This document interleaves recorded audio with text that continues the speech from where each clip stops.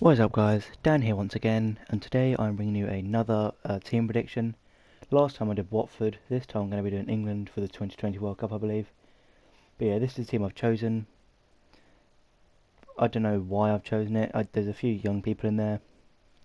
Some people are in form now.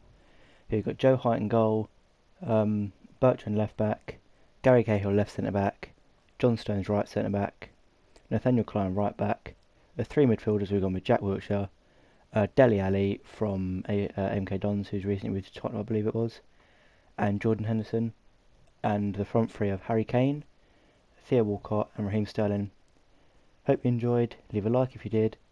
Tell me what other teams to do in the comments, and yeah, until next time, see ya.